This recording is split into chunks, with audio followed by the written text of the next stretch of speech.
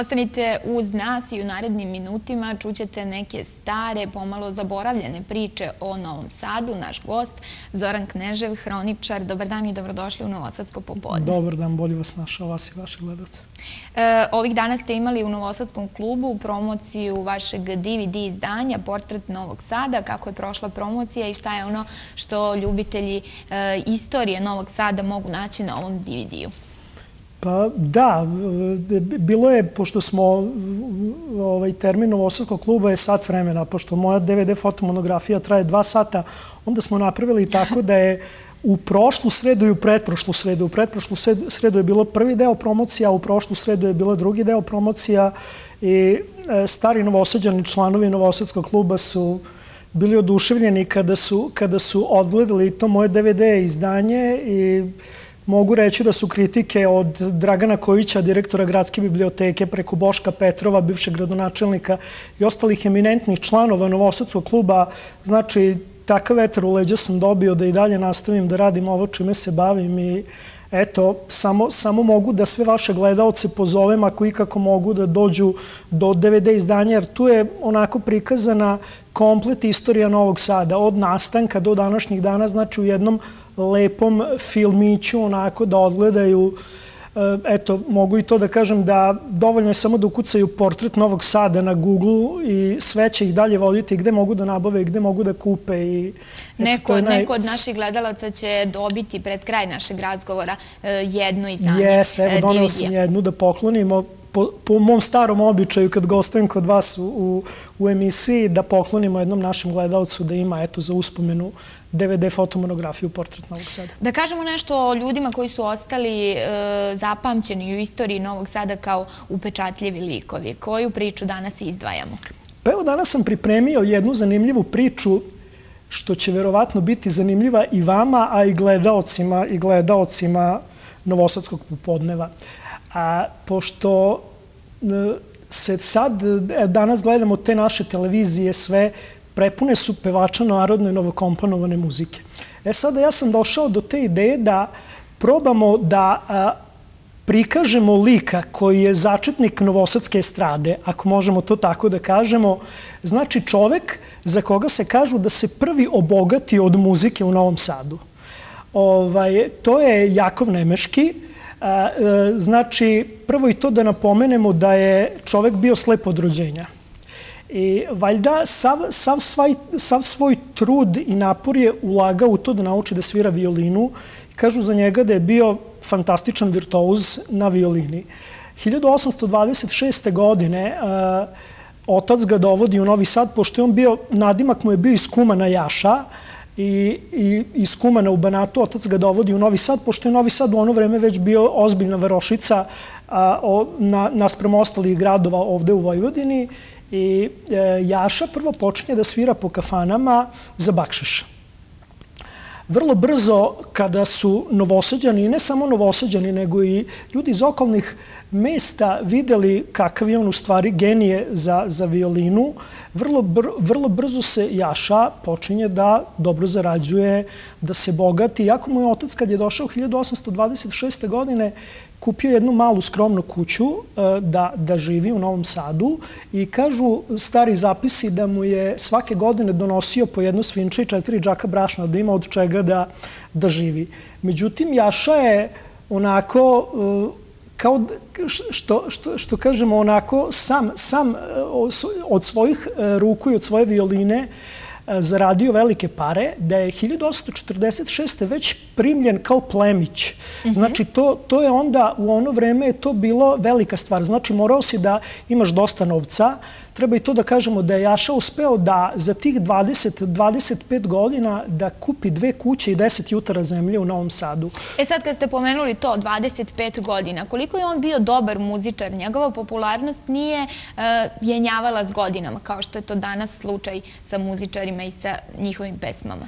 Pa da, e, Vasa Stajić nam onako u njegovim, njegovim zapisam, zapisima i hronikama baš onako opisuje, opisuje koliko je bilo podataka uh, o iskuma na Jaši i kaže da je on svirao u svim viđenijim novosadskim kafanama, da je svirao sve svadbe, bankete, rođendane. U ono vreme kad su ga ljudi zvali i da je e, na, na, naravno e, ona nesretna buna e, u Novom Sadu 12. juna 1849. Jaša je morao da da ode, ode iz grada, da pobegne u bombardovanju Novog Sada i vratio se posle 1900, 1800 1850. se vratio i nastavio ovde do 1855. do kada je umro. A interesantno je to još i, reći za Jašu. A Jaša je bio oženjen, ali sa ženom nije imao dece.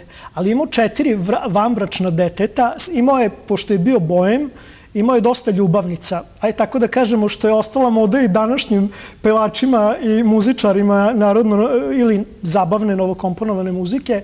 Tako da je ima i taj zapis i taj podatak da je, kada je Jaša umro, da je grad nasledio svo to njegovo bogatstvo i da su posle toga Šta je urađeno veoma dugo njegovi sinovi koji su bili i čerke koji su bili priznate, od strane, da su imali dugo problema dok nisu povratili deo samo njegovog nasledstva. Ostalo je sve grad zadržao za sebe. Eto, to je šta je bilo sa ženom? Da li ona dobila deo nasledstva? Ne, nemamo taj podatak. Ne zna se šta je bilo sa ženom. Ovaj, uglavnom, uglavnom se e, priče na, na njemu se ovako svodo i završavaju.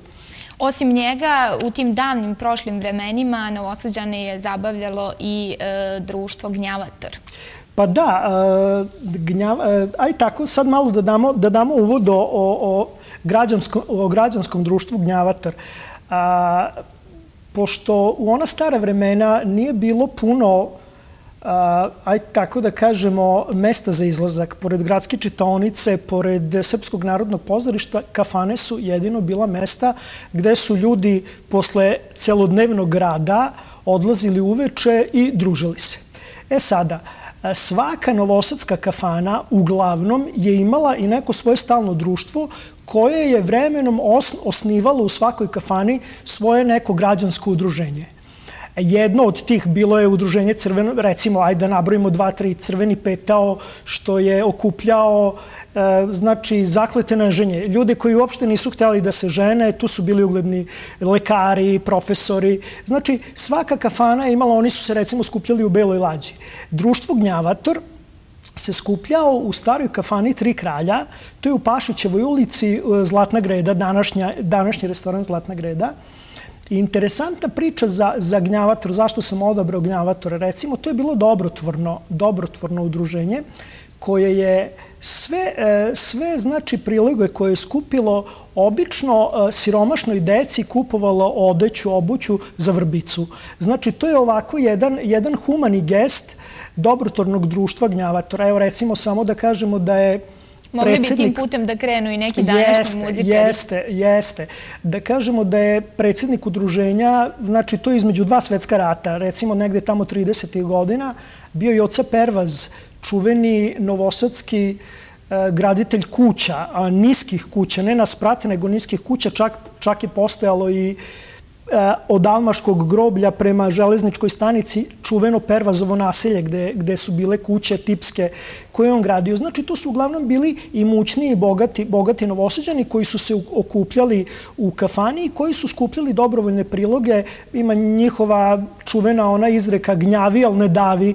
Ovaj, imali su tako neki, ukupljali su se i svako ko je e, mogao da plati ili ko je, ko je dosađivao gnjavio, on je morao da plati, da plati određen prilog.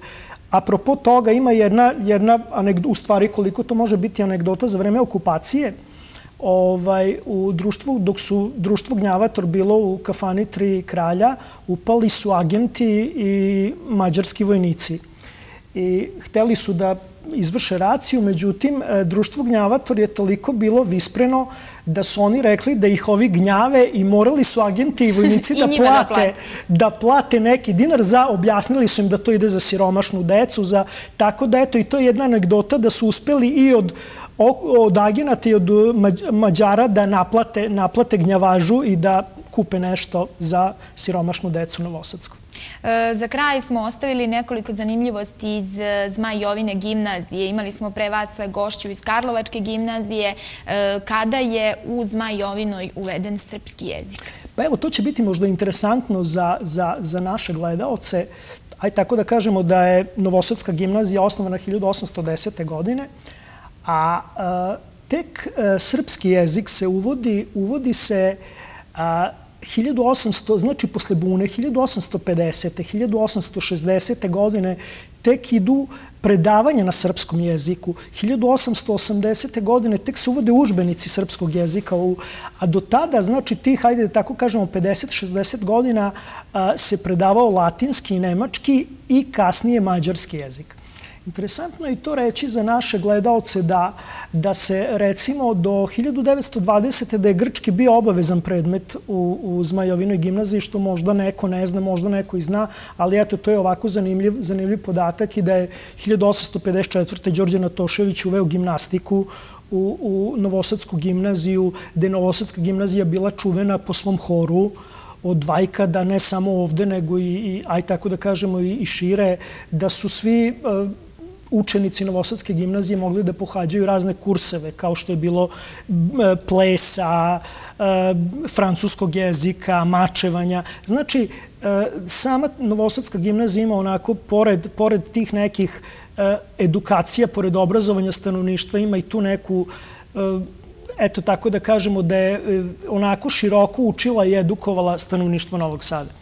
Eto, ja se nadam da smo ovom pričom malo dočarali našim gledalcima kako je to izgledalo u prošlim vremenima. Pre svega mislim naravno na ovu priču o e, muzičarima tog tog vremena. Za kraj našeg razgovora poklanjamo vaše DVD izdanje, portret e, Novog Sada, brojeve naše redakcije. Sigurna sam da već dobro znate, pozovite nas i osvojite ovo zanimljivo DVD izdanje, portret Novog Sada i možete naučiti dosta možda zaboravljenih stvari o istoriji Novog Sada. Zorane, zahvaljujem vam se na današnjem gostovanju. Hvala i vama.